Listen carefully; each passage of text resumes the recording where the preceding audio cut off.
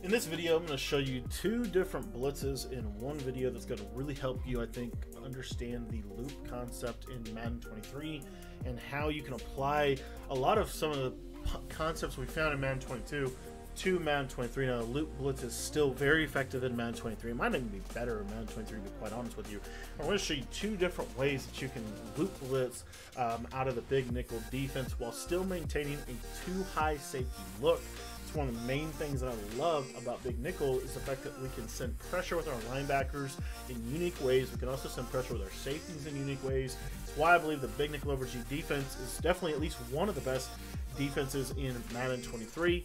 So take a look at this blitz, and if you want to learn the rest of the Big Nickel defense, make sure to join our Patreon. It's only 10 bucks to sign up, get you access to absolutely everything, including our Big Nickel over G uh, defensive ebook.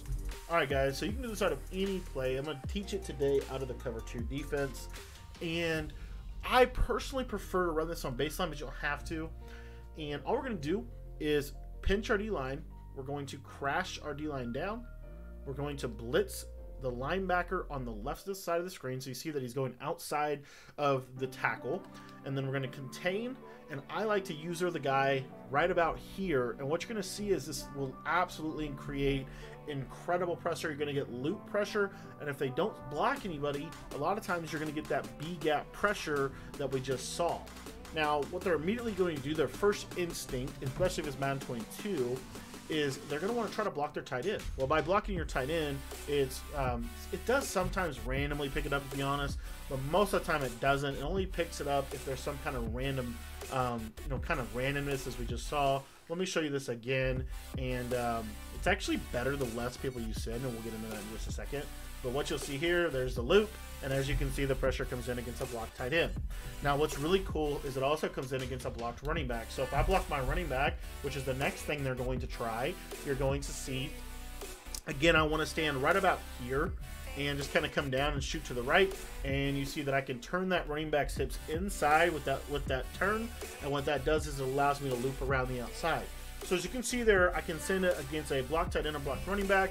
And then lastly, what I can do with this is sometimes the max protect will pick it up, but a lot of times it actually doesn't. And what you'll see here is again the loop able to get in against max protect. That is the loop. It's looping around the outside lineman, and we're basically creating a kind of a stunt, if you will, and he's looping around.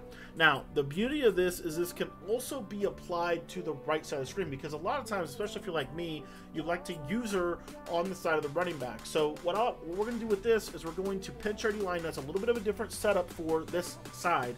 Instead of crashing our line down, we're going to crash our line to the running back side, and then we're going to loop this way. It just kind of has to do with the fact that this guy is in a little bit of a, a of a deal. Now for this one, I think baseline it does work a little better because the linebacker actually gets to where he needs to go.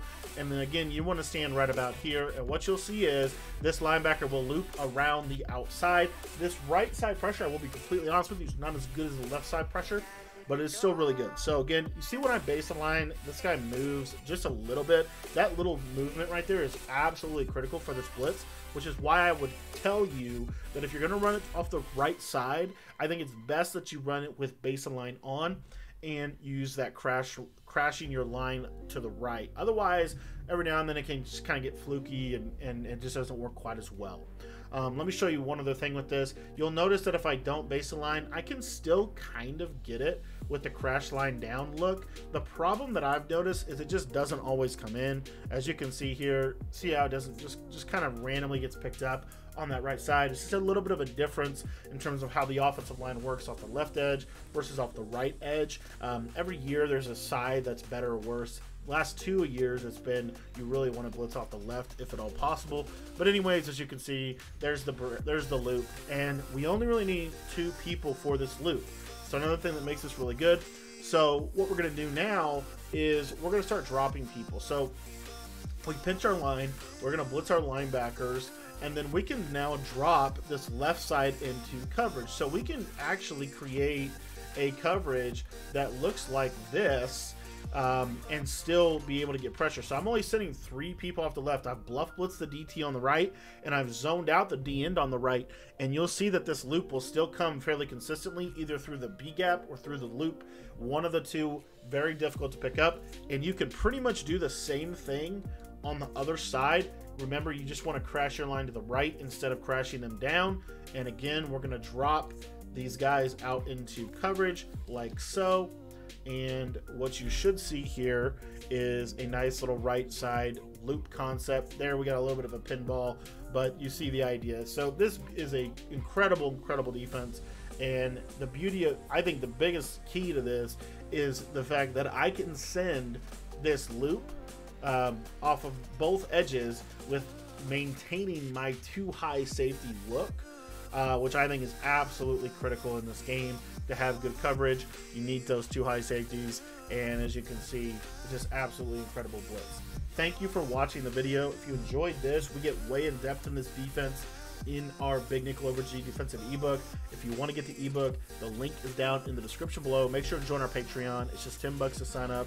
Thanks for watching. If you want to join, head down to the description below and click the link.